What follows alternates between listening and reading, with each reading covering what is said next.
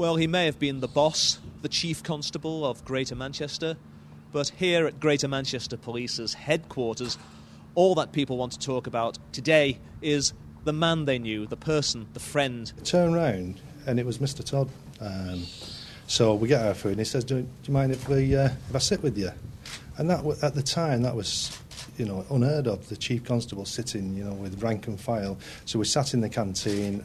We heard from one police constable who won a bravery award, and he describes how he found himself simply having dinner with the chief constable of Greater Manchester Police.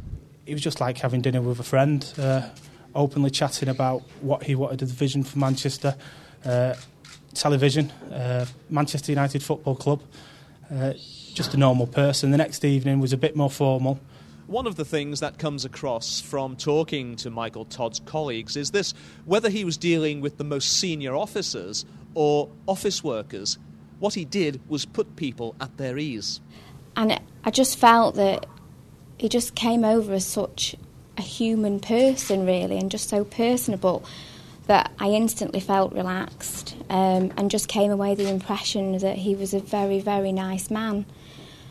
Now, we've heard over and over from Michael Todd's colleagues how he did like to turn out for normal operational policing duties. Now, many of these were serious incidents, but they were not without their moments of humour, according to one colleague. He just turned up at the nick. It was a bit of a nightmare for some of the bosses, I think, really. But, you know, turned up and said, right, who am I going out with? We then went on the raid, and I was partnered with him. We went up to a bedroom to uh, a suspect. The intelligence was that there was a possibility of he had access to firearms, and we end up struggling on the floor with this person, and then we find that he's had a knife.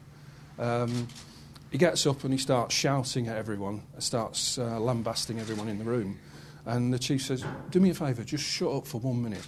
And the fellow went, "Who the hell do you think you are?" The chief constable, and he went, "I am actually," and it literally took the wind out of this person's sails. And we went back to the custody office, and he was bragging to everyone back at the custody office how he'd been locked up by the chief constable.